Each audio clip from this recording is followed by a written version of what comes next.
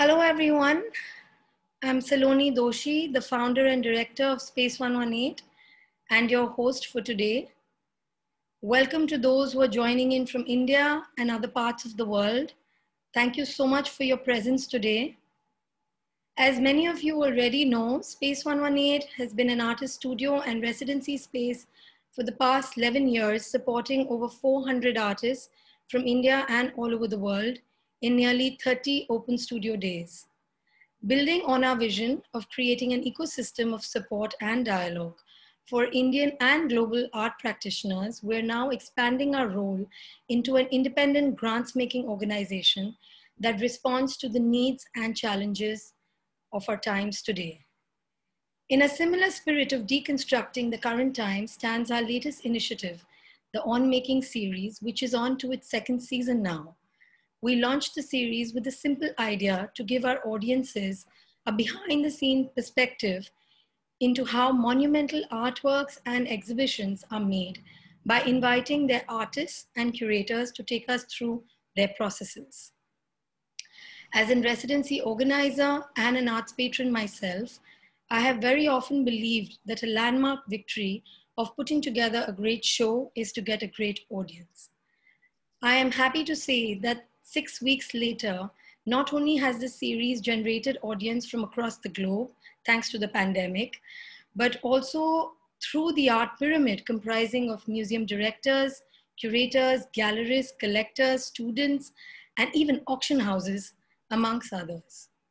It has allowed us as organizers to get a glimpse into the many facets of contemporary art practice and processes, whether it is the material concerns of those who build, the astuteness of art handlers and space designers who hang the shows, the generosity of institutions and patrons who support these projects, and last but not the least, the vision of the artist and the curator to put together these mammoth shows. It has been our pleasure to bring out these aspects to the audiences, especially at a time when physically going for a show is out of bounds for many of us, and I personally miss it the most. The wide response from our viewers enables us to bring to you each week the thing to do on a Sunday. And today we're pleased to have with us a critic, curator, and art historian, Murtaza Vali. Based between Brooklyn, New York and Sharjah, Murtaza is an adjunct curator at the Jameel Arts Center in Dubai and is currently curating a series of exhibitions on the role of architecture of the Gulf region to the lives of the people in the region at Warehouse 421 in Abu Dhabi.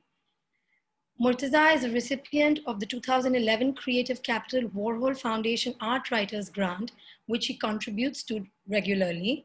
And he's also a visiting instructor at the Pratt Institute, Brooklyn, and a lead tutor of Campus Art Dubai.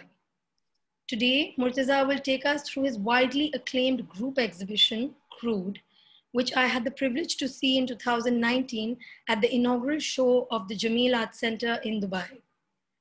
Bringing together 17 artists and collectives from the Middle East and beyond, Crude explores oil as an agent of socio-cultural transformation across the Middle East and North Africa. Oil has been a trigger for misguided colonial ventures, wars, coups, modernization, and development. Oil has not only been a catalyst for nation building, but also the cause of terrible ecological disasters like oil spills. Oil and its associated industries has produced a spectrum of representations, such as documents, records, plans, photographs, images, and artifacts that not only bring alive these complex histories of oil and oil trade, but this material is largely inaccessible and buried with, uh, within the archives of national and corporate media. It is the oil industry's this very nuanced and murky histories and archives that this show brings forth, thus retelling an alternative history of modernity in the Gulf. The exhibition also includes works that reflect on some of the specific technologies that are byproducts of the oil trade, from drills, bits, automobiles to synthetic petroleum products from our daily lives and their long-term effects across the region.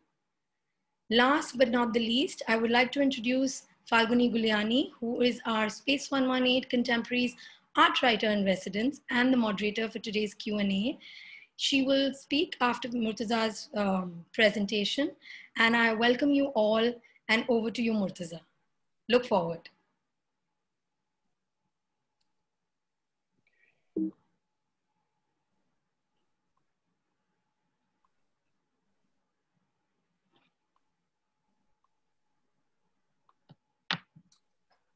Thank you. Thank you very much, uh, uh, Saloni, Phalguni, and everybody else at Space 118 for this uh, uh, wonderful invitation to uh, uh, share my exhibition. Um, it's been a couple of years, a year and a half maybe, and I thought I had finally put it to rest, but like oil, it's bubbling up again. and thank you very much for everybody around the world for joining in on this Sunday. Um, for some of you guys, those in South Asia, it's your evening. Uh, for us here in uh, in North America, it's early in the morning. So I very much appreciate you guys taking out a little bit of time on your day off uh, to join me. Um, so um, I'll just uh, roughly outline the way I'm gonna uh, uh, way I've structured the presentation, um, and then we will begin. Um, I'm um, um, I've to give you guys kind of like a sense of, for those of you who didn't get a chance to see the exhibition, uh, so that you get a get, uh, get a bit of a sense of what it looked like. Um, the first about 10 or 12 slides are, are uh, uh, kind of a virtual walkthrough of the, of the five rooms of the exhibition. Um, and then after that, I've, uh, I, I, thought I would zero in on some of the works specifically and talk about them. Um, so uh, just to start off with, uh, I'm just going to uh, lay out some of the uh, ideas behind the exhibition. Um, this was the um, the um, display announcing the exhibition in the elevator lobby of the uh, of the Jameel Art Center. Uh, I worked very very closely with a design studio out of Lebanon called Studio Safar. Um, on the graphic identity of the exhibition, and they were really taken by um, uh, an idea that will come up in the exhibition as I discuss it as well about this idea that uh, oil has this metamorphic capacity uh, to transform itself, and it also has this visual uh, quality that allows it to simultaneously be um, an absence or avoid the the kind of like blackness uh, of it, but then also um, simultaneously it's this reflective surface and uh, that produces this a spectral sheen. By spectral, I mean uh, the, the entire spectrum. Um, and so throughout the, a lot of the design elements, they picked up on this and found all of these amazing uh, materials uh, that kind of reflected this capacity of oil. Um, this is, uh, just to situate us, this is the Jameel Art Center. Crude was presented as part of its uh, inaugural uh, programming when it opened in November of 2018. Um, it's located on the creek. Um, and uh, for any of you guys visiting Dubai or passing through Dubai uh, who haven't already been, I would say uh, definitely make take a few hours out to go see it. They're doing amazing, amazing, amazing things. And a much needed non-profit institutional uh, space within the uh, commercially driven art scene in Dubai. Um, okay, so now turning to my exhibition. I wanted to start off with a quote. Um, when I started doing research on uh, for the exhibition, um, I tapped into a very important uh, kind of emerging discipline called energy humanities, which basically takes uh, a humanities-based approach to issues around uh, how energy uh, and how uh, fuels shape social and cultural life and, and have impacted history as well. Um, and uh, the, the texts are, uh, you know, very revealing, uh, incredibly well written, and I could have picked from a lot of those texts, but I thought I would start with this one uh, because it's actually uh, quite uh, simple and evocatively written. It's by a, a Polish journalist named Richard Kapuściński, and it is taken from um, his profile of the uh, Shah of Iran called the Shah of Shahs. And uh, uh, Kapuściński writes, oil creates the illusion of a completely changed life. Uh, life without work, life for free. The concept of oil expresses perfectly the eternal human dream of wealth achieved through lucky accident, through the kiss of fortune, and not by sweat, anguish, and hard work. In this sense, oil is a fairy tale, and like every fairy tale, a bit of a lie. And um, this, the the tension in this, or the dialectic in this last sen- sentence, was key for my exhibition, um, which was, of course, being presented in a context where oil is uh, responsible for modernity and development, not just for environmental uh, uh, kind of uh, collapse or uh, rampant consumerism.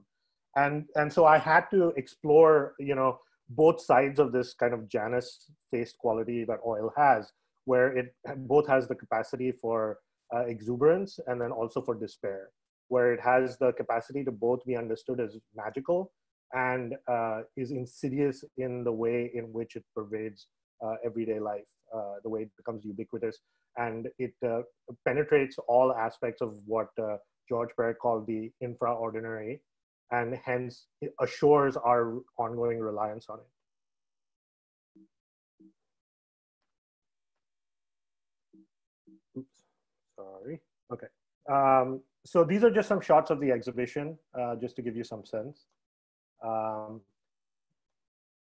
the the exhibition uh, was originated from uh, a, a, series of works that I uh, I uh, came across uh, in my research, uh, just ongoing research, not specifically driven research, that um, were attempting to recapture moments from the region's history and specifically its encounter, its early encounters with modernity through the archive um, specifically. And so there was a very strong archival uh, look to the uh, exhibition. Um, what was interesting for me was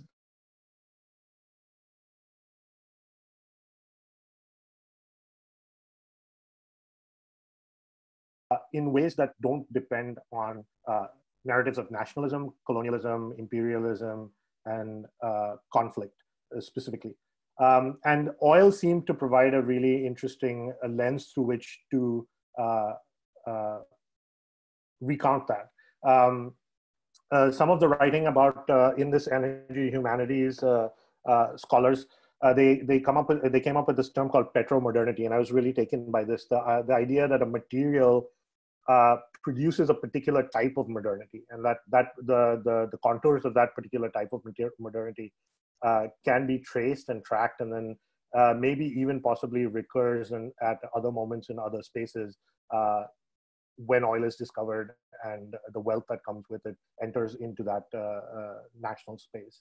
Um, so uh, the other interesting thing about the oil industry, especially in the Gulf, is that it left behind a very, very rich archive. Um, the oil companies that so oil was first found, discovered within the region around the around the uh, the the Gulf um, in 1908 in uh, southwestern Iran, um, and very quickly um, uh, Western companies started kind of coming in and uh, uh, figuring out ways of uh, um, tapping into those resources. Um, about a decade and a half later, it was discovered in Iraq, and then subsequently in Bahrain, Saudi Arabia, Kuwait, uh, and then eventually in uh, um, the UAE and Iran as well. Uh, I mean, UAE and Oman as well. Um, and what was interesting about these companies is that on one hand, their presence in the region um, um, entangled uh, the history of oil with the histories of uh, of colonialism and imperialism, but uh, um, it, like I said, also produced this large and rich archive that we can now access. And these are artists who kind of where the seeds of this exhibition uh, were uh, tapping into this archive. Um, um, what was the, the reason why these companies produced these archives was twofold. On one hand, they had to uh, basically justify their foreign uh, adventures to their stakeholders back home. Um, and that material basically propaganda material corporate propaganda material was then uh, also trickled down to uh, the societies that they were uh, that the companies were located in uh, as pedagogical tools for people to learn about uh, these faraway places. Um, so for the Anglo-Iranian oil company and for the Iraqi petroleum company, it was about the Middle East. But um, um, for um, in Holland, uh, it was about Indonesia and Dutch Shell's operations in Southeast Asia um, and uh, things like that. But what, the other thing that was really quite fascinating about this archive is that the archive was not just uh, documents. It was actually also um, consisted of a lot of visual material. Because like I said, this was all corporate propaganda and they had to produce uh, visuals to go along with all of the uh, text. So there were um, uh, extensive photography. Some of it was, of course, survey photography for the purposes of oil, uh, oil prospecting but then some of it was just uh, a way of demonstrating the the positive effects that oil was having um, uh, around the world, but specifically in the countries that they were in.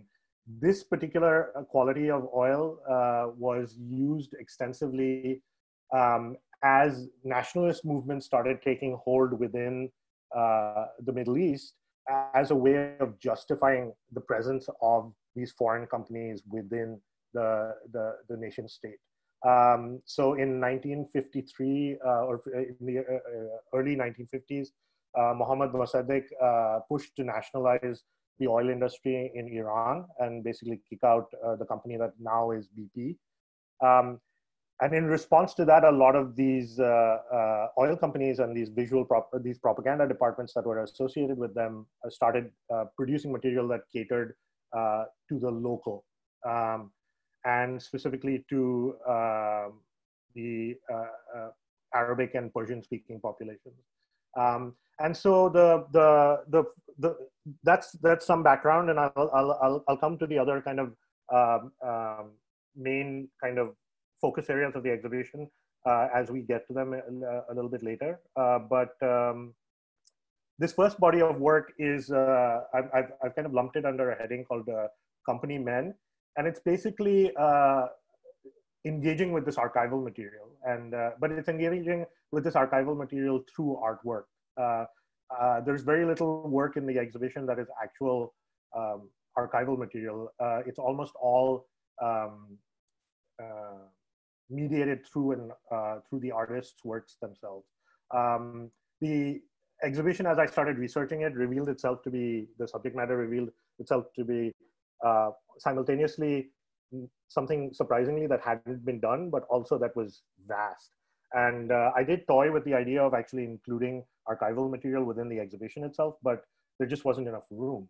And so I decided to uh, let the archive emerge organically through the engagement that these artists had with the archive. So just to go through a few works that uh, kind of uh, engage with the archive, um, I call it Company Men because it engages with uh, the kind of some of the uh, behaviors and uh, uh, and practices that uh, were associated with the oil companies' activities within Iran and Iraq, especially, um, but more, but also in other parts of the Gulf, in Aramco as well. Um, so this, I what what was interesting about this um, kind of uh, Uh, need to produce visuals, uh, kind of uh, convincing uh, the public, both at home and in in in the in the countries that they were prospecting in, that uh, what they were doing was valuable. Is that it also forced an engagement with local creatives, and so you, I found at least two examples of artists who or who worked for the oil companies to help produce this visual material uh, who were also artists in their own rights. Um, and so I thought it was important as a starting off point uh, to include these images. I mean, the, in some sense, their um, their practices were driven literally by uh, the um, expansion and the modernity that oil enabled. Uh, so these two works are by um, an Iraqi photographer named Latif Al Ani, who worked uh, uh, for the Iraqi Petroleum Company in the late uh, in the 50s, um, in the early 50s. and he uh, was trained as a photographer at uh, as part of the um, uh, company's uh, PR team, and uh, he would photograph for their magazine. They put out these magazines, as did the oil company in Iran and in Kuwait and Saudi Arabia and all of those places as well. And but then he also took photographs on his own, and he continued to photograph as um, the, the main photographer for the Ministry, Iraqi Ministry of Culture uh, until the late 70s when uh, the kind of growing influence of Saddam uh, and uh, um, he perceived a threat from that and then kind of withdrew. Uh, but what's amazing about his photographs is that they kind of capture the the throes of uh, of oil modernity, of petro-modernity, the the kind of profound transformations of of society and space uh, and cities um, and social life that happen as a result of the discovery of oil. So, and his photographs are also they're they're black and white largely, and they're formally uh, uh, striking. Um, so the work on the left is uh, um, from uh, the construction of a dam in uh, in Kurdistan in northern Iraq, uh, and um, I, I liked it because it also brings to mind the, the pipeline, which I will come back to in a little bit later, the oil pipeline. But it also uh, reveals how uh, the revenue that comes in from oil kind of produces an infrastructural development that uh, extends beyond just that specific industry. Um, the work on the right is actually a view of a, of a modernist housing project in, in Baghdad as well. Um, uh, some of the revenue that was being uh, generated by oil um, in the 40s and the 50s and in Iraq was then used to kind of transform uh, Iraqi cities from these kind of medieval Arab uh, spaces uh, of narrow alleyways and twisting and twists and turns into kind of modern, what we imagine as modern cities. Um, and so, you know, a lot of um, major modernist architects um, and urban planners from Walter Gropius to Constantine Doxiadis uh, were brought in to kind of transform uh, uh, Baghdad and other uh, urban spaces in Iraq, kind of the, in the same way that Le Corbusier was brought in to uh, design Chandigarh. Um, and this uh, neighborhood in, in Baghdad is exemplary of that. I also included this exhibit, this image specifically in the exhibition because um, it captures another aspect of, uh, of modernity, which is this kind of uh, uh, repetitive serial uh, logic that uh, emerges from uh, the, the kind of industrial rhythms of the, of the factory um, and tra translated into space. Um, I also, my research also revealed one other kind of company man. Um, and he was an Iranian painter named Hushang Pezeshknia and uh, what was interesting about uh, Hushang Pezeshknia is that um, he was actually trained as an artist. He went to art school in, in Turkey, uh, but when he came back to uh, Iran uh, to support himself, he started working at the oil company. And again, he worked in the oil company's PR department, uh, producing illustrations. Um, uh, a lot more historical research needs to be done to figure out precisely what other things he was doing for them uh, but I, I do know that he produced illustrations. And what was striking for me is that as influential as oil was uh, in this uh, mid-century moment, mid-20th century moment within the Middle East, it doesn't seem to appear that much in artwork. And his is uh, his was one of the rare instances where I actually found an artist who was producing work representing uh, the labor of oil. Uh, of course, it was also important for me to show images of the people who work in this, this industry because they are largely like the industry itself and like the material itself and like the infrastructure. They're largely invisible. Um, they're we, we cannot access, uh, uh, access them. It was also very important for me uh, curating a show in the context of dubai to include representations of labor because representations of labor are a, a kind of a contested topic in that social space as well um, so this is actually a work that showed um, in a in a show called Iran Modern. That's where I first saw it in at the Asia Society in in, in New York, and uh, you know it, it, it it demonstrates both the kind of like the dignity and the nobility of these uh, laborers, although they were often working uh, under uh, very uh, dire uh, circumstances and living conditions. And that's a whole sub story of the exhibition that we won't have time to go into. But the ways in which these uh, uh, foreign companies basically recreated colonial logics, both spatially and socially, um, in the company towns that they developed in, in the region, uh, in and around uh, either oil fields or refineries. Um, so this is this shifts the focus away from uh, the northern Gulf to the the southern Gulf. This is a, a work by Hajra Waheed. Uh, this was one of three commissioned works for the exhibition, um, and it's called uh, the ARD Study for a Portrait, and it was a 28 part work uh, that also delved in the archives of uh, specifically of a division within Aramco called the Arab Research Division and the division was ostensibly meant to do both geological and uh, uh, social and cultural research. It was uh, filled with area study scholars, Near Eastern study scholars, Arabic scholars, um, and anthropologists who were all American trained. Um, but it also had this relationship with post-war and wartime and post-war espionage. And uh, what's interesting about this project is that it uh, it kind of uh, um, brings that archive, which has otherwise been relatively hidden, out. But then what it also traces is some of the other nefarious activities that this division was involved in, uh, which um, include uh, surveillance of uh, labor unrest. So if the if Pezeshknia's work was like representing labor, what happens through the history of oil in the region also is this kind of um, antagonism between the the laboring uh, uh, uh, body and the, the, the kind of corporate colonial masters and um, initially the, the, the, the, these companies these corporate uh, entities uh, were actually quite extractive and manipulative and took a lot of advantage of uh, not just the local landscape, but also the, the local labor resources. And it was only through a back and forth of labor agitation and then concession and then labor agitation and then concession that uh, the these lab, uh, uh, the labor uh, the laborers who toiled within these industries managed to improve their their conditions.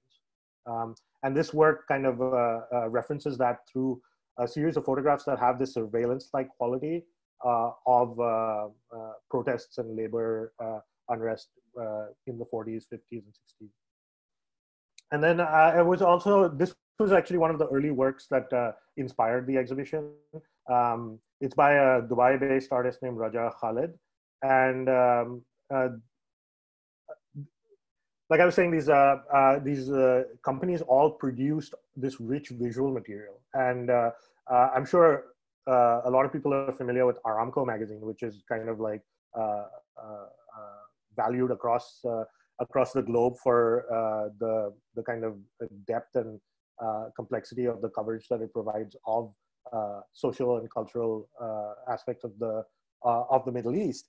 But it's important to remember that it is it was one of these kind of PR tools, and Raja'a Khalid actually mined this archive, uh, an archive both of uh, magazines, uh, of primarily Western magazines during the mid-century, uh, to look for traces of uh, uh, of Arabian oil within them, and, out of a larger body of work that also includes other aspects. Um, what I was quite fascinated with was these images of people playing golf, which to me feel a lot like the Arabian version of uh, uh, the Brits playing uh, cricket in India. Um, you know, golf in the middle of a sandy desert seems completely uh, counterintuitive. Um, and their kind of like stubborn need to hold on to it and impose it on the landscape, uh, I thought was quite fascinating. And then the fact that it has a history that goes back about 50 years, I found even more uh, breathtaking. Um, the the interest in this was inspired by an early uh, encounter that I had in the 1990s uh, uh, before Dubai had developed to the degree that it has now of landing into Dubai and seeing this patch of pristine green in the middle of the sandy desert. Uh, and then when I landed, realizing that it was the newly built uh, Dubai golf course. And just the incredul- incredulity of uh, having a perfectly manicured green lawn in the middle of the sandy, hot sandy desert, and the amount of uh, energy expenditure that and water water use that's required to maintain that uh, just blew me away. And and and this project uh, specifically kind of revealed um, the origins of it. You know that uh, this this interest in in golfing in a in a region that's completely inhospitable to it uh, is uh, embedded within an earlier moment of colonialism. Um, and then uh, this is a this is a video work by Alessandro Balteo Yazbeck um, in collaboration with Media Farzin called Chronoscope. Um, and if the first two works that I showed within the selection of works were about people from these countries, uh, uh, uh, nationals of these countries who were taken up within the oil and uh, oil uh, company structures um, and asked to represent their own nation states. Th these latter two, three works are about the com company men as colonizers in some sense. And um, and this particular work, you know, Balteo Yazbeck and Farzin um, discovered a, a a TV program from the early 1950s called Chronoscope, which was a current events program that aired on uh, American television. And um, in and around the 1950s, they found a whole series of conversations that were uh, in response basically to the nationalization of oil uh, in Iran and the anxieties that that produced within the West. And what they did was they took a whole series of these uh, uh, conversations, which almost, which the format was that there was one kind of uh, guest, and then two journalists were the interlocutors who who, who interacted with that with that person. Um, they took a whole bunch of episodes and then uh, created a script that blended them seamlessly, so that it seems like one large uh, kind of group conversation or a panel, or even possibly uh, a court case. And what's quite amazing about this is the, just the, the, the level of uh, detachment that these men have from the from the parts of the world that they're extracting from you know? The the concerns that they have are all uh, literally linked to themselves uh, their politics and their profit. Uh, what's also intriguing about this work is that as you watch it you realize that the people who are involved in politics and the people who are involved in the corporate structures of these companies are often the same people. Um, so when people say that, you know, um, um, Western uh, influence within the region is all about oil, um, this is kind of gives you proof of that, literally, where the the the ties, you know, that between say Bush and Cheney and Halliburton, or Bush and oil companies are kind of murky and shadowy in the in the early 2000s. In the 1950s, nobody was trying to hide it. It was it was explicit. It's stated in their bios. And then finally, um, because I showed these Western company men, I also wanted to uh, uh, reflect the other side of it. And this was a work by a Saudi artist named Manal AlDowayan called "If I Forget You, Don't Forget Me."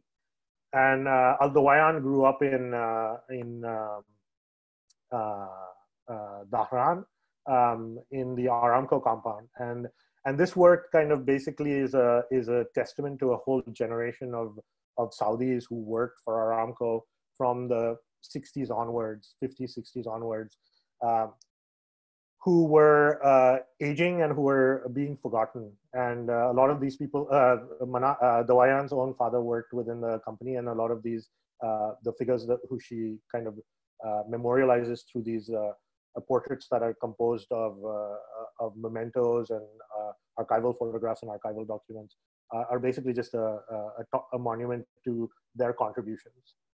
Okay, so the next section I, I, I, wanted to turn to a little bit was the notion of infrastructure. Um, and one of the other things that oil produces as a, as a kind of a material force uh, that, uh, uh, that as a material and an agential force that produces certain types and structures of modernity. The other one is the infrastructure. To get oil out of the ground and then to distribute it to where it's consumed uh, requires, requires a vast infrastructural network. Uh, but as I was doing the research, what became uh, quite uh, evident to me was that this infrastructure uh, remains invisible. Like we don't, we consume oil, but we don't have any clear sense of where it comes from.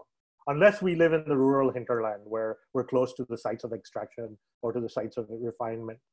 Uh, actually, in some sense, the industry consciously and actively keeps its infrastructure uh, away from the main sites of consumption so that in some sense we're not reminded of the deleterious costs of this extractive industry and so i wanted to kind of uh, uh, reintroduce us in some sense to the infrastructure of oil uh, but wanted to keep this kind of like invisibility or uh, distance that um, that exists around it uh, in play um, so I'll just take you through a few projects. This was actually one of the earliest works um, that I thought of, including in the exhibition. So in some sense, was important as the as the seed and the origin of the exhibition. It's by uh, Rayyane Tabet, and it's called the shortest distance between two points. And it's an abstraction that uh, uncovers the history of uh, the tap line, which was a, uh, an important uh, pipeline that was uh, constructed by a consortium of American oil companies that were operating in eastern Saudi Arabia, from the oil fields in eastern Saudi Arabia all the way to uh, a terminal point on the Mediterranean at uh, in Lebanon.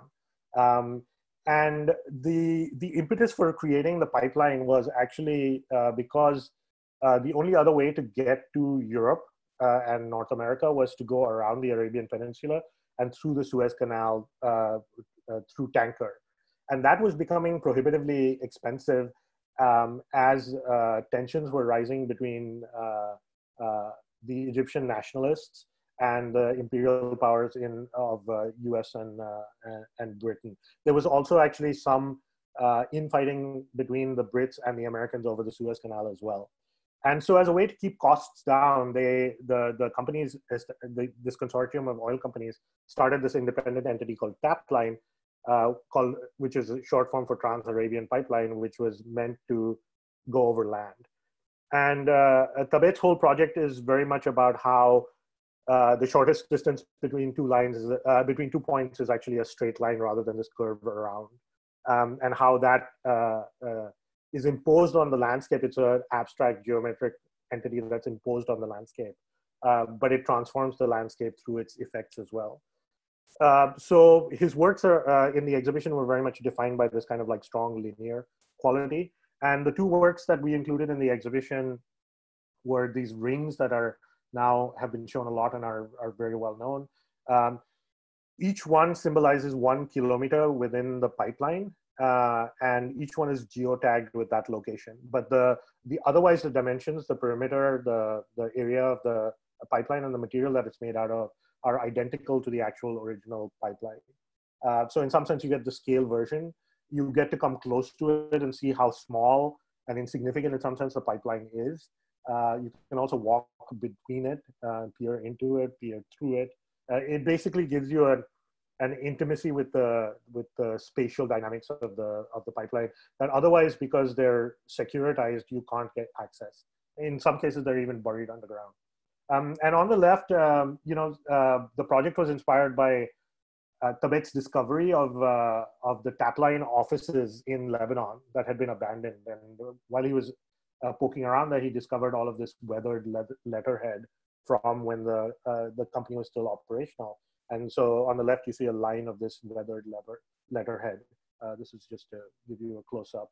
Um, and this serves as kind of an uh, an artifactual trace as uh, opposed to an archival. And actually, the project kind of really uh, intertwines the two of these. Hopefully, this is something we'll talk about a little bit later in the Q&A. Uh, this is a work by a collective called GCC, and uh, it turns the, the kind of like ubiquitous, but again, completely inaccessible visually oil extraction platform. it reproduces it out of glass and gold uh, which on one hand, again, this idea of ghosts. So uh, visually, it's kind of a, a, liminal, but it also kind of cues us into the the rituals or cultures of, of corporate life within these companies. Uh, and it uh, this series of works was meant to mimic these kind of uh, uh, trophies that are given as uh, uh, to acknowledge the milestones of people who worked um, in corporations. And, and so there was an interesting echo between this work and the sorts of mementos that are pictured in AlDowayan's work. Um, this one was, of course, more performative and ironic and wry and poking fun at that culture. Um, this was another work that uh, kind of was conjuring up ghosts um, and was also uh, uh, visually and materially uh, uh, like liminal or spectral.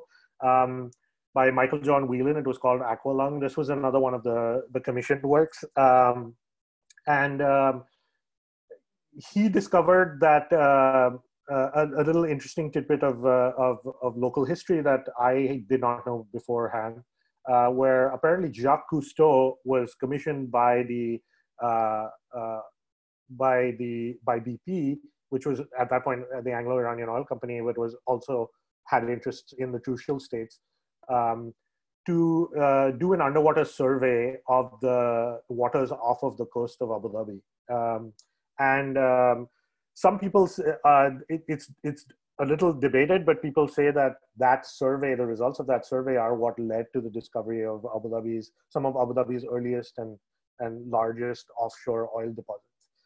So, in some sense, this this figure who then goes on to become the the the kind of father of maritime conservation was very early on in his life implicated in uh, uh, an extractive economy that uh, is then producing uh, significant destruction of primarily those ecosystems. And uh, so what uh, what uh, Michael John Whelan did was he he worked with divers to um, extract sand from the seabed at some of these sites from this original 1953 survey, and uh, he um, melted them down and uh, into glass, and then he produced these blown glass objects. And the form of these glass objects, uh, each one was formed within a, a, a diving tank uh, you know the air tank for uh, used by divers. And um, uh, the, the, the reason for that form was uh, of course to kind of evoke the his his own process both both his process but then also Cousteau's survey in an abstract way. But also another thing that Jacques Cousteau was known for was uh, he's he's thought of or he's wanted as a one of the discoverers of, uh, of basically scuba diving technology, what's called Aqualung. Um, and that may have been one of the reasons why he was conscripted to do this survey. Um, and, and, you know, so that comes up. And then uh, each, each work was hand blown by a, a master a glass blower in, in close um, uh, uh conjunction with, uh, with Whelan. And what's also interesting is that you know from from object to object, the the surface and the transparency uh, uh, is very different, and the process of both the blowing and the uh, firing traps little uh, um, bubbles within the forms, and so in some sense it evokes that uh, phenomenological experience of breathing underwater and this kind of constant bubbling of of, of breath out. Um, and finally, uh, very quickly before I turn to the next section, uh, I wanted to bring up these two works by another Dubai-based artist named Lantian Xie. Um, and it's uh, the title of the work is Chicago Beach Hotel, and it's these two very kind of like spectral uh, colored pencil drawings of, uh, of a structure uh, that at least on the right you can clearly see the label Chicago Beach Hotel.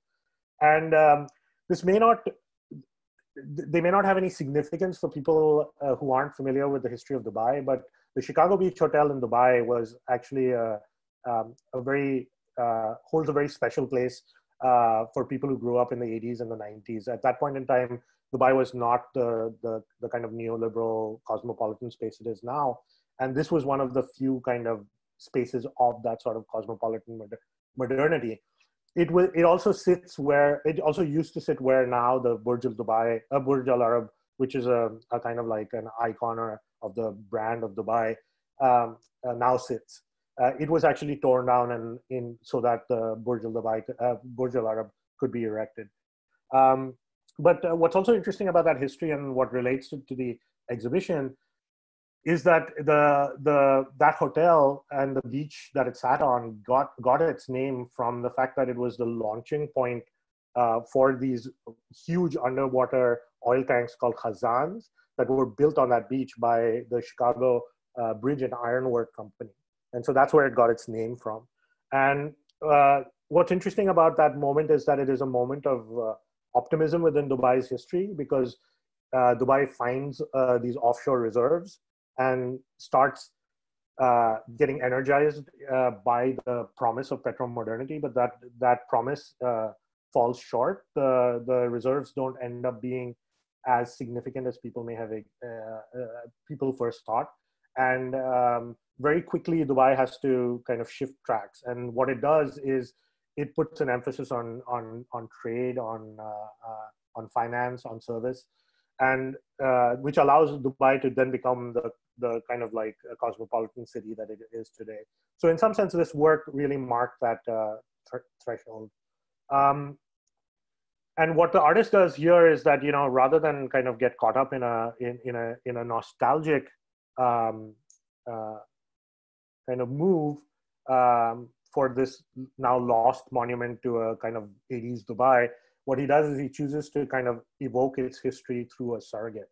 And so the, the images are off the a Chicago Beach Hotel in Chicago that was erected in the late 1800s uh, for uh, the World's Fair that was happening there. Uh, and again, another structure that existed and has been destroyed.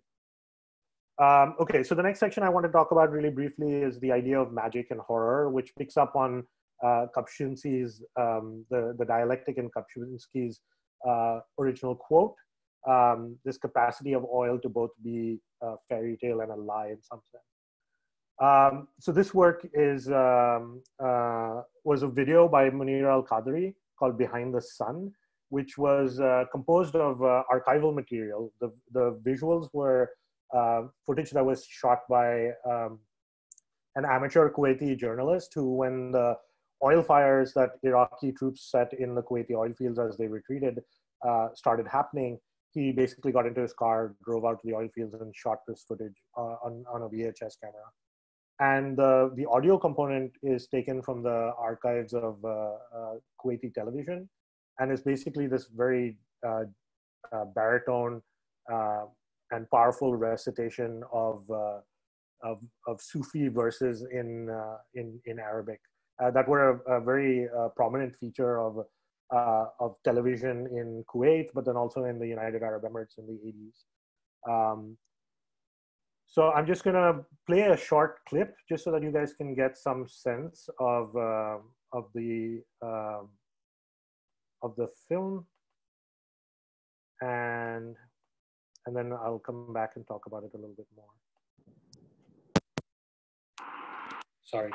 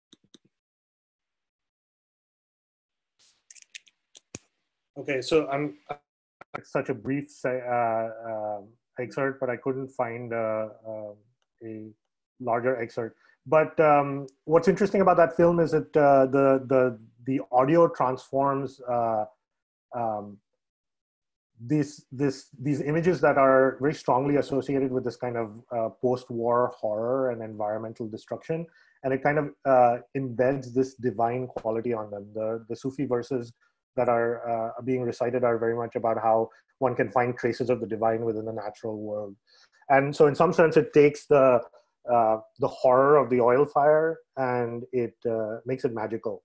Um, and it reminded me of uh, kind of the, the, the ritual uh, presence that uh, fire plays within Zoro, Zoroastrian traditions. And it's interesting that Baku, Azerbaijan, which is considered to be the origins of, of Zoroastrianism, is also one of the um, earliest sites outside of the West where oil was discovered. And there's a very early Lumiere brothers film that documents oil fires at these wells in Baku. So uh, Monira Al Qadiri, who's a Kuwaiti artist, has produced a series of works that kind of like engage with this magical quality of, uh, of oil. Um, this is a, a, a, work by her that um, uses the design of oil drills that are used to kind of break through the ground and tap into the resources. And in this particular work called Orbit, she's turned it into this levitating, magical levitating uh, object that floats about an inch, inch and a half uh, above uh, the plinth.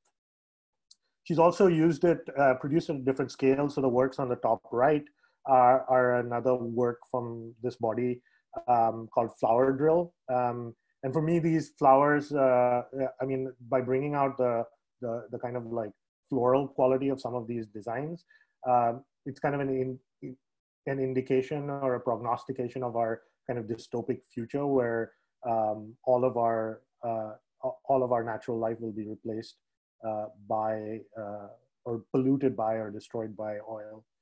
Uh, this is another work in that in that vein that is simultaneously dystopic, but I also find a little utopic. Uh, it creates this uh, kind of an ecology of an unexpected ecology between crude oil, which is in the pan. It, it, it's by an artist named Lydia Ourahmane called Land of the Sun. So there's um, a layer of oil in the in the pan, and then uh, you, see this uh, uh, lemon tree that's growing out of a uh, out of a tire, and uh, and um, on one hand, one could view it as dystopic, like this is our future if we can continue to pollute. Um, but then, in some sense, it's also a testament to the resilience of Mother Nature that even after we have destroyed ourselves with all of these fossil fuels, uh, nature will still find a way to survive and, and, and, and come back. Um, okay, so the last section very quickly um, is a section that I'm calling Plastic Petrotopia. And this is very much about how one understands the exact nature or texture of petro-modernity within the UAE. So the UAE oil is found much later. It's found post-war as compared to the rest of the Gulf where it's found pre-war. Um, and the nation state doesn't become uh, it, the nation doesn't become come into being until the early 70s. And so it seemed like as I was doing research for the exhibition and trying to figure out how to situate it within its context, uh, within its immediate context, uh, this sort of archival uh, engagement that I was finding in other parts of the Middle East didn't seem to exist bar uh, Raja'a Khalid and uh, Monira al-Qadiri's work. But what I did notice was um, um, a, a, a, rich seam of work that was engaging with other ways in which oil kind of penetrates uh, social life, and especially this infraordinary.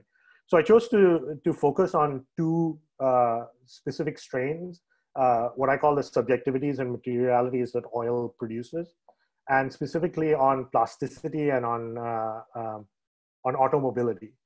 So this was a work by uh, the, the Emirati uh, pioneer Hassan Sharif called Slippers and Wires, produced in 2009. And these objects, which kind of transform um, uh, commodities uh, purchased, uh, cheap commodities purchased in local bazaars, and um, he kind of cuts them up and then ties them together and piles them into these uh, these uh, these large uh, forms.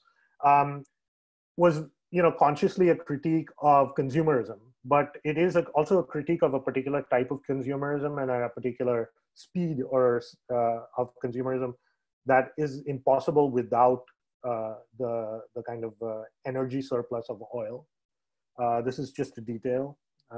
Uh, again, uh, you know, I was very interested in labor uh, and I was also very interested in kind of having, producing an exhibition that on one hand appealed to a lot of different types of people. So archive and video kind of can turn young viewers off, but I thought having these material objects that also were very colorful and some were operating at the level of, of the scale of a, of a toy or an object uh, would also be a way of kind of enticing younger viewers. Uh, so that was intentional.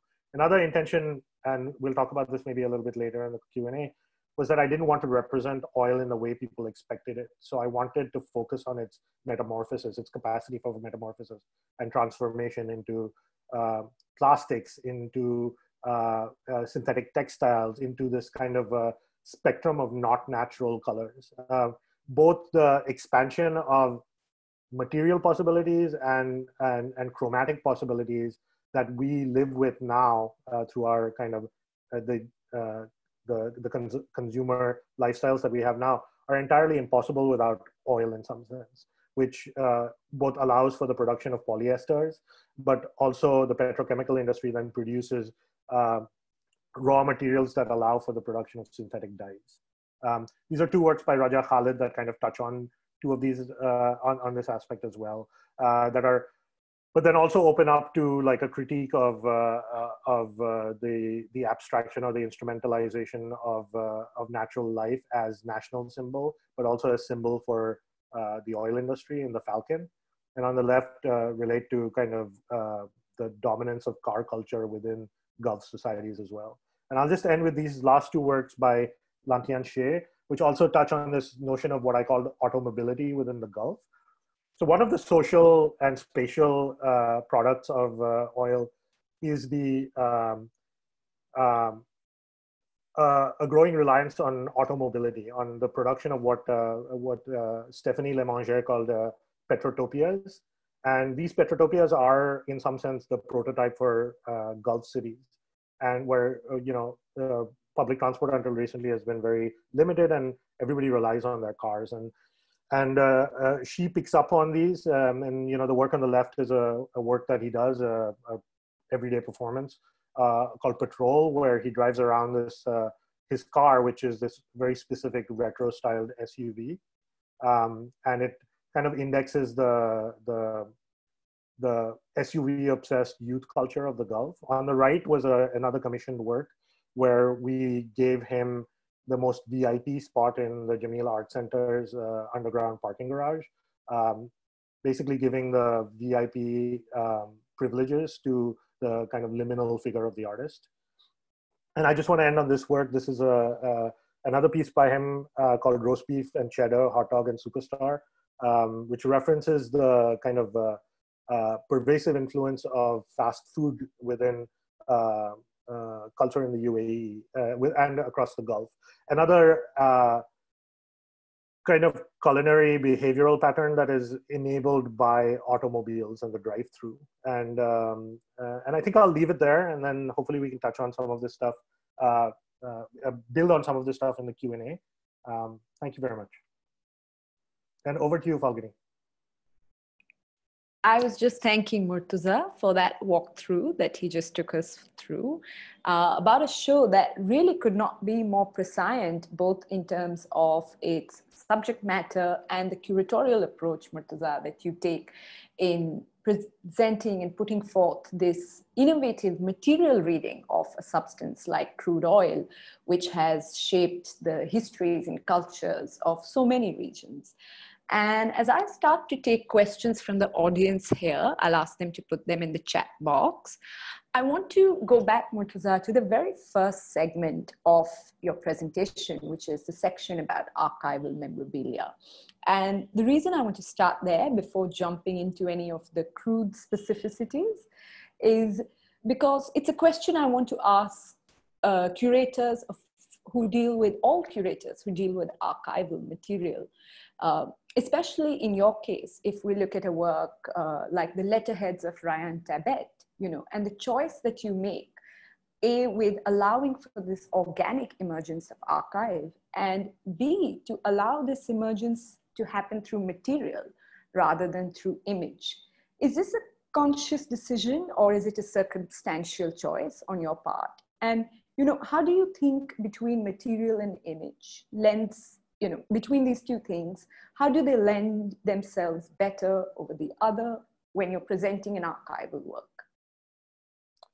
Um, yeah, I mean, that's a really, really great question. And it was something that was quite conscious in my mind. I mean, I, uh, as a historian, I, I, I engage with archives uh, regularly, but I am often frustrated with archives within an exhibitionary space. Uh, I find them to be quite uh, exhausting, and I don't find exhibitions necessarily to be the uh, best format in which to engage with an archive. With an archive, you need to be able to sit at a desk and look through it and be able to read through it.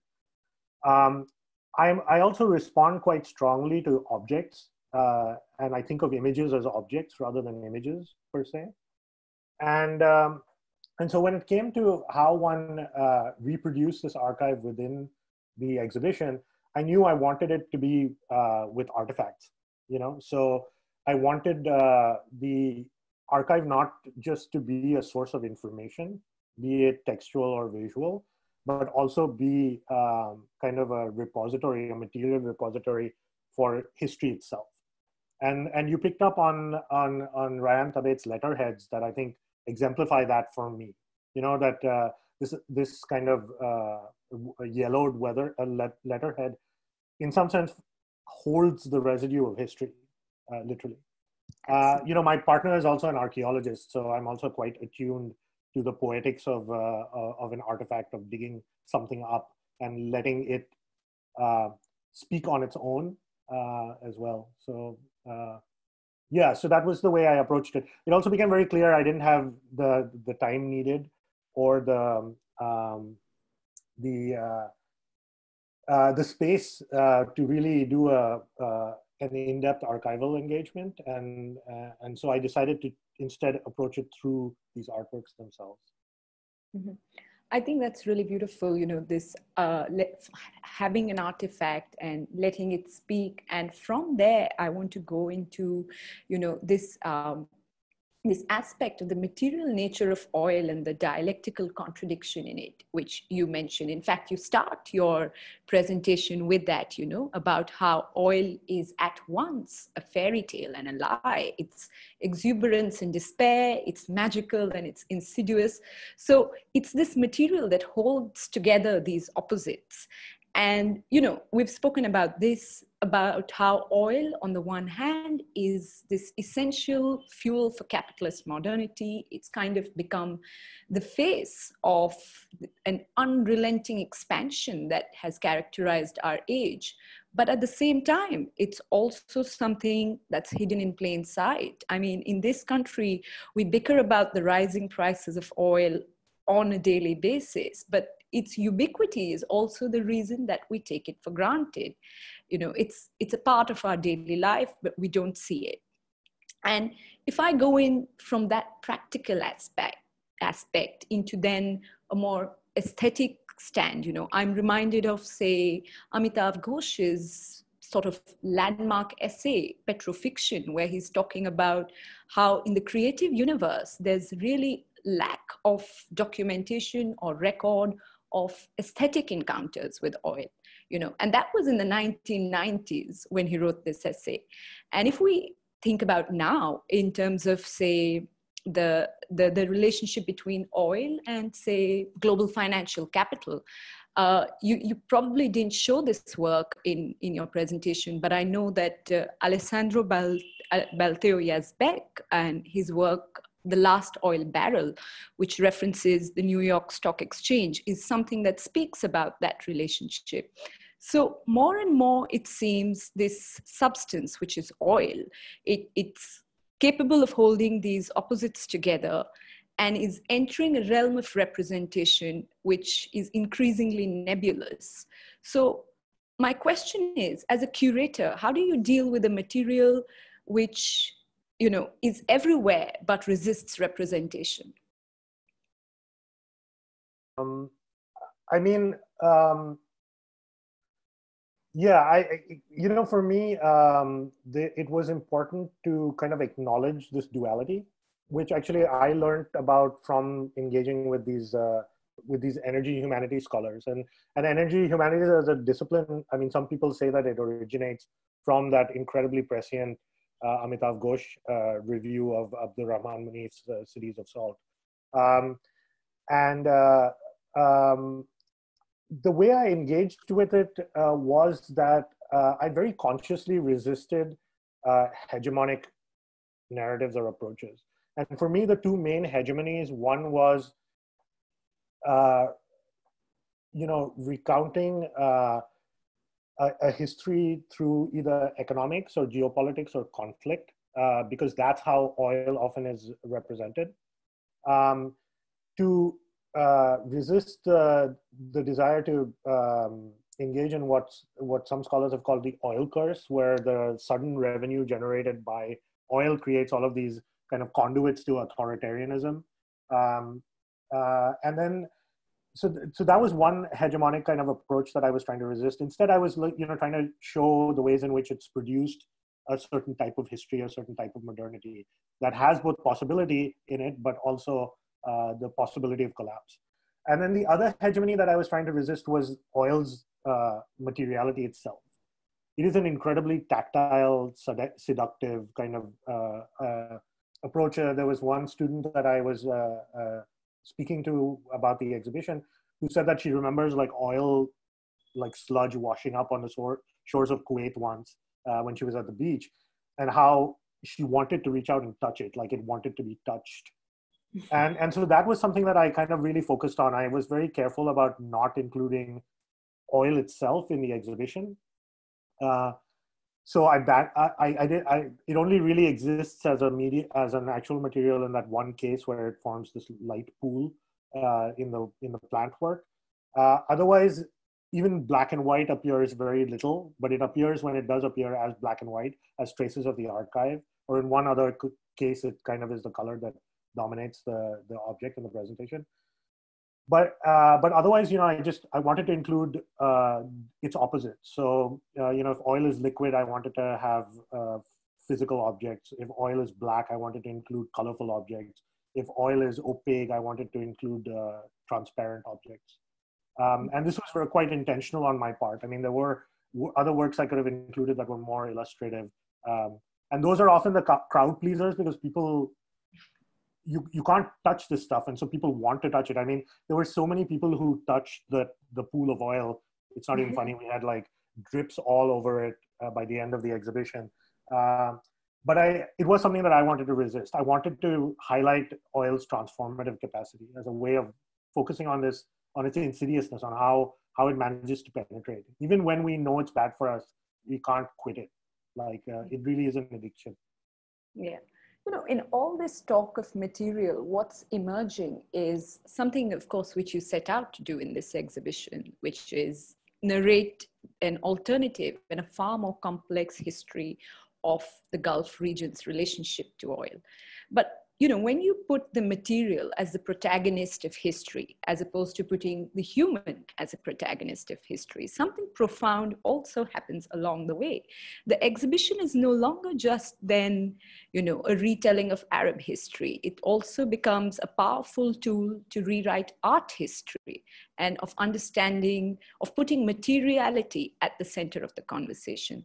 So I'm curious, is this something that, was this a goal when you, uh, for you in the course of making this exhibition when you started out? Or is it just an accumulation of your accumulated interests?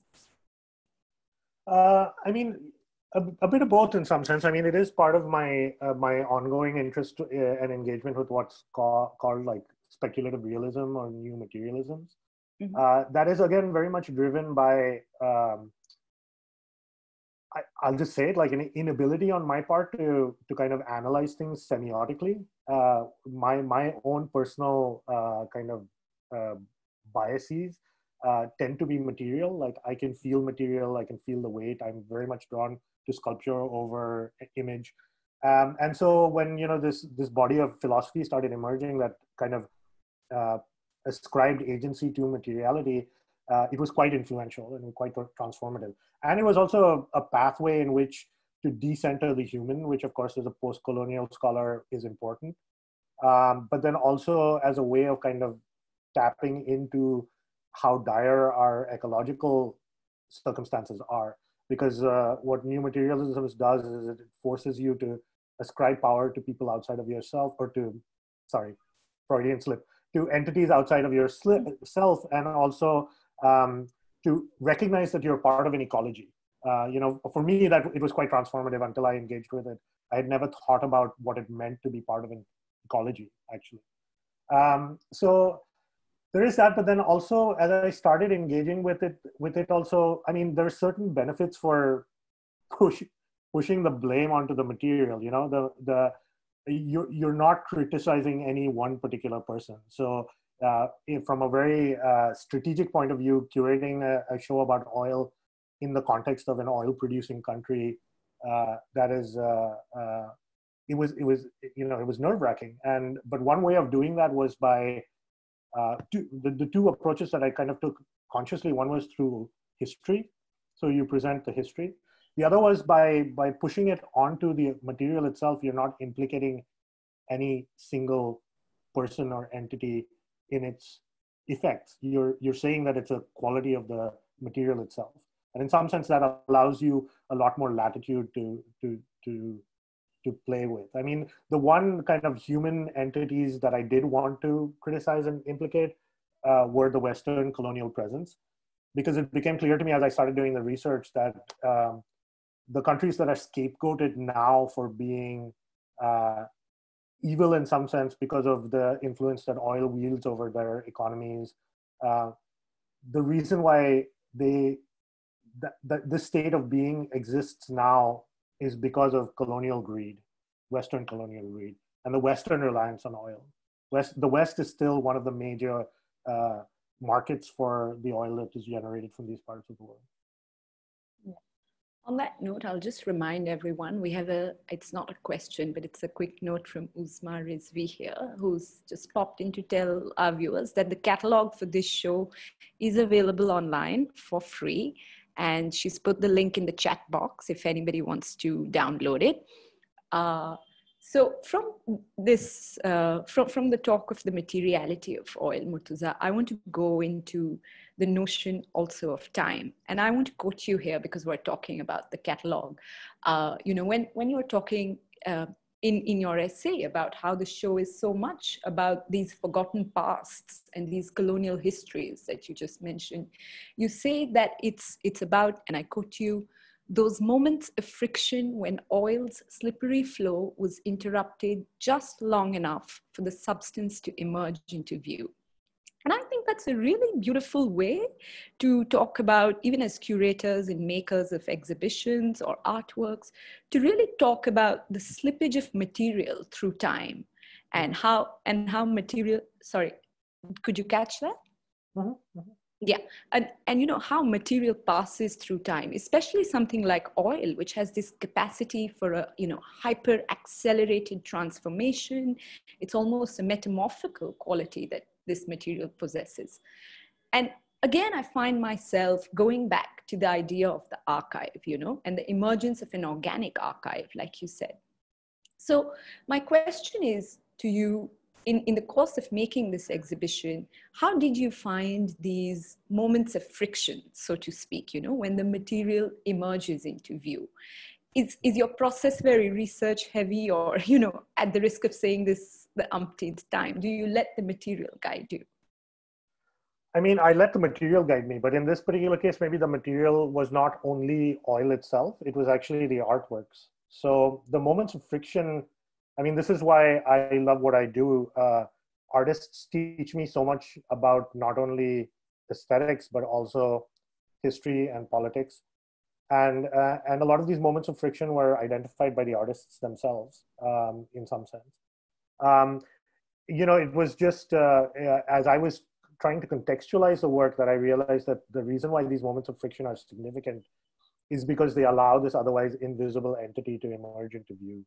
Um, and um, for me also, and in terms of time and in terms of uh, archives and, and, and maybe in terms of also momentum or movement, uh, or drive. Uh, another thing that was really important was um, the relationship that oil as a as a as an agential being has to both modernity and capitalism. So this kind of dialectic that I was setting up between magic and uh, and and and lie, or between uh, between magic and and and insidiousness, or um, between uh, fairy tale and lie. Um, it's something that I feel like oil shares with both capitalism and with modernity. You know, so modernity had this promise and then it collapsed. Uh, capitalism has this kind of promise built into it, but then we all know that its inner workings are, are, are rotten. And, and so it was important for me to kind of like intertwine those three. That's why the, the title of the exhibition, I mean, the title of the catalog essay is uh, called A Crude History of Modernity. So the idea was to really uh, re-engage with a history of modernity of the region, but not through a history of conflict or a history of politics. Uh, it was really an attempt to kind of tell an art history of the region. And that's why the those art those historical works uh, by uh, uh, Latif Al-Ani and uh, Pezeshknia were important to include. There were a few other historical works that I, I, I discovered, but they were impossible to present within a, an exhibition. One was like an in situ um, uh, ceramic uh, mural that I, I, don't even know if still exists. Then there were a bunch of works that were held by a private collection that weren't accessible, and and and so um, yeah. So I don't know if that answers the question exactly, but yeah, it is. It's all. It was the the materiality. It was the materiality that kind of drove yeah. it. Yeah. I just want to take uh, one question from the audience here. Uh, Omkar Survey has asked, how was the local audience's response to the show? Were there any, uh, I, I, think we were talking about this before as well, about how in March you really saw a boom and that's what he's asking. If Were there any remarkable uh, critical responses you got? And I want to use Omkar's question and sort of bring in uh, you know your personal relationship uh, with the ideas that you share with with the with the ideas that are explored in the exhibition. You know i know that uh, you have your family has this uh, very fond memory of eating at hardee's every week and that's why that last work you showed us that fast food paper bag is so relevant to you or you know this critique of yuppie culture which um, which we saw la- later in, in the works with the automobiles. So, you know, it's, it's for me an interesting way to look at your relationship with Dubai and mm-hmm. then Dubai's relationship with the, with the larger global art world. And mm-hmm. I think we've spoken about this before about, you know, how there are shows that have been about uh, oil, which speak largely about um, the dangers of its excessive consumption. But that's because these shows come out of societies which share a relationship of consumption to oil, as opposed to your show, which uh, you know comes from a land which has a history of pro- oil production. So. Mm-hmm. How do you think this show changes? You know, because Omkar's question really is about local audiences, but I also want to bring in the South Asian context here. And how do you think the show changes in the context of India or, you know, America, where you're based now? Mm-hmm. Uh, and you know how does the politics of extraction in these countries sort of complicated do you see it being a traveling show in the future i mean of course oil is something which is so pertinent uh, to economies across the world. So where do you see this show going in the future? I, I, mean i know you said you thought you laid it to rest but uh, apparently not. Uh, thank you. Thank you for that uh, question. Um, I mean, there were a lot of these uh, very context specific or site specific, uh, uh, for lack of a better word or la- lack of a better phrase, like inside jokes that, I, and I wasn't sure how people, how they would go over. Um, for me, it was important because it, it localized the exhibition, which was important because part of the point of it was, was to start a conversation around something that is critical and ubiquitous but is basically not discussed much, right? For for for obvious reasons, you know, a critique of uh, of the of the petroleum industry within uh, uh, an oil producing nation is a lot trickier than it is within an uh, other part of uh, in another nation. So part, uh, you know, I, I did want to include work that was about the local that provided openings for conversations. Um, and uh, a lot of these issues also automobility and materialities they're also prevalent within the social sphere of the gulf in, uh, in the uae but also in the gulf you know um, the uh, the kind of hyper consumerism is something that people are very very aware of um, and uh, uh, waste is again um, when i first started doing the research for this exhibition like there wasn't uh, as much of a global movement against single use plastic but by the time the exhibition closed uh, it had gotten pretty uh, pretty uh, widespread, um, in, including in the in, in the Gulf. But you know, the like the, the the section of automobilities was important because people rely on cars there. You know, and what cars have done is it's created traffic jams. Like traffic jams are a, a part of everyday life in the in the UAE at least. Um, it's also produced uh, uh, high incidences of uh, of car accidents uh, and death and uh, road rage and things like that. But then it's also um, produced increased incidence of of heart disease and and diabetes and and uh, other chronic diseases that are linked to kind of fast food culture in some sense. Um, so I wanted to bring all of these kind of issues up. And what was quite heartening to me was that, you know, the different parts of the exhibition spoke to different people. So these very local kind of in jokes in some sense, uh, the, the, the local people really responded well to that. So I had a lot of people come up to me who had either lived for in the Gulf for a while or uh, were born and raised there or live there right now, who were like, we loved that that aspect of it was represented. You know, so like, like with the fast food, it was a big favorite with like uh, school students but then I had one uh, one uh, an older woman who was in her 60s who said, "Yes, that took me back to when I lived here in the 80s, and we used to go to because Hardee's and and Kentucky Fried Chicken were the only places you could go out to eat. We used to go there as a family, and that was intentional. So that was amazing. But then you know the archival uh, uh sections of things uh, really brought resonated with uh, with with older people who worked in these oil industries who felt like their histories had not been represented or narrated outside of their very close circles.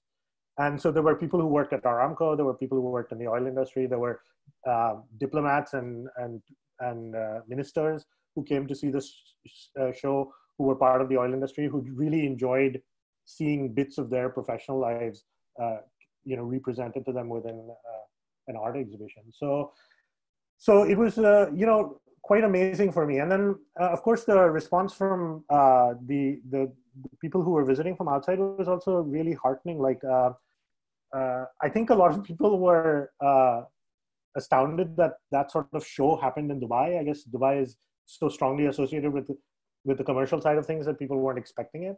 I, I had a few colleagues be like, "This is like a proper museum level show," and I was like, uh, "Yeah, I mean that's what we were trying to do."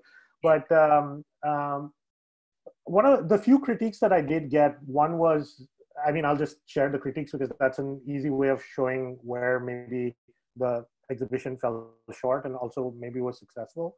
Um, was um, that it was historical, like it was too historical in some sense, and so in some sense it was ignoring the present and the future, uh, and it wasn't making uh, the focus of the exhibition uh, fossil fuels ecological effects but I feel like that's obvious and that has been done ad nauseum. And that was not what I was interested in.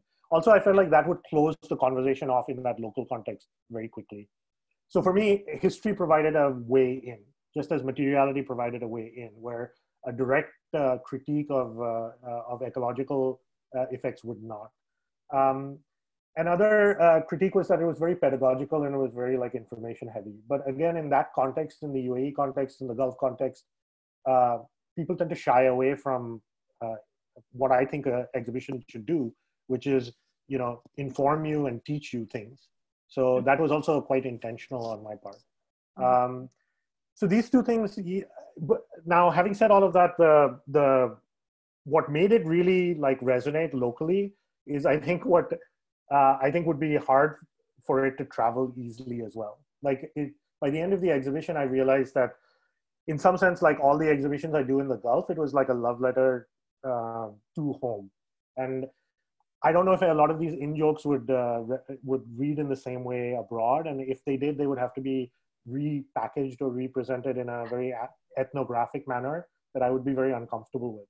So I think you know I would love for the show to travel. I think some of the works could travel quite easily. Um, I would also, uh, but I, I think it would have to be reformatted and rethought and ideally, I would like for it to also uh, change maybe a little bit. There were a few works that I discovered late in the curatorial process that, uh, you know, because of that, I couldn't include in the show that I think are important to include. Um, and so, yeah, so that that's my kind of response. The the the you know it was nerve wracking because it was a show that was critical about oil in a in a in an oil producing country. And, and so there was a lot of anxiety and apprehension. But I must, uh, uh, but, it, but it went off really well. People responded really, really well to it. Um, and I think people appreciated this kind of uh, deft touch where it was critical but not uh, confrontational.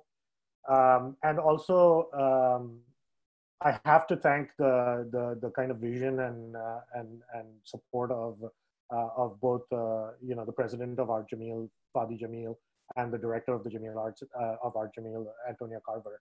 I mean, I suggested it to them kind of as a, on a whim for an exhibition down the line, and they were like, let's go with it for our inaugural show. And I was like, I was so nervous that you know it would uh, it would upset people, but uh, uh, you know they they they stuck by it. They stuck with the decision, and and and you know we pulled it off. And I, I think it really set a good tone for the for the for the the the what the center is trying to do. Uh, you know, trying to uh, engage with critical discourse uh, in in a, in a space where it's often it, it can be hard uh, in terms of how it would travel, I don't know. Actually, this is a conversation where I would love to, uh, um, you know, have further conversations about people in India. Uh, the work that's about extractive industries in India uh, and about the eco- ecology in India, it seems much more related to uh, coal and to other um, um, minerals and mining and uh, pollution. Um, I'm I haven't done enough research to know what the role of oil in the in in the in South Asia is, but um, the response from South Asia was great. I mean, if someone if an institution in South Asia is interested, uh, look me up and we can have a conversation uh, about it. But uh, yeah, I mean, you know, we were talking about this earlier that you know what is the relationship that say a country like India has to oil, and I think one of the things that India does do is that it, it provides storage capacity so for, for the Gulf especially, they produce all of this oil. And one of the things that, one of the ways that India fits into this infrastructure and economy is that it provides facilities for, uh, for storage and refinement. So that's an interesting, maybe that needs to be explored and unpacked more. Yeah. So, on that note of being critical and not confrontational, that you told us, uh, I'll thank you, Murtaza, for leaving us with this metaphor for the coarseness and the crudeness of history, really. And I'll now ask Saloni to come in for her vote of thanks. Can I just jump in really quickly? And I, I, just, I, I completely missed the, my thank you slide. But uh, I did also, in addition to Fadi and, uh, and Antonia, I do want to thank uh, Nora Razian and Don Ross and Albert Colambel, who were part of uh, the uh, the team at Jameel who helped me, without whom the show would not have been possible at all. And I want to also thank uh, and acknowledge Studio Safar, who helped design the exhibition itself, all of its pedagogical materials and the catalog.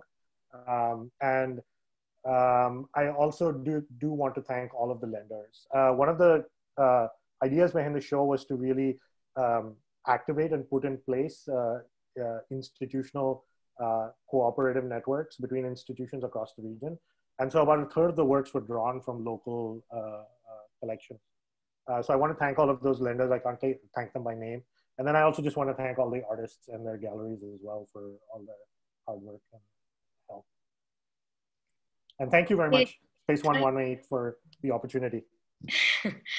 thank you, Phalguni, and thank you so much, Murtaza, uh, for that wonderful conversation. You have not only opened a whole new Pandora's box on the complexity of the oil industry, which is something that affects our daily lives, which we take for granted, the narratives, the economies, and the ramifications and the positions and the nuances in these structures, which we so take for granted today. I hope we are able to reflect uh, on our relationship with fossil fuels and consumerism, as you've highlighted, and work towards a more sustainable future for the planet. I also have to thank Lekha Poddar for taking me to the show. It was the second time around um, when she wanted to revisit the videos at length.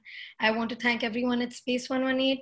Thank you and everyone who's watching this, everyone who will watch this later in the future. Um, thank you, Murtaza, for taking us through the show in a very special manner and opening up to us. We're back next Sunday with yet another speaker and another show, and incidentally, another inaugural one. We have Nada Raza, who will be taking us through her experience of curating two of my favorite artists, uh, Zarina Hashmi and Shilpa Gupta, for her launch, for the launch of the Ishara Art Foundation in Dubai in 2019. It was also an inaugural show and Nada's first show at Ishara. So stay tuned and see you next Sunday. Thank you. Thank you. Thank you, everybody.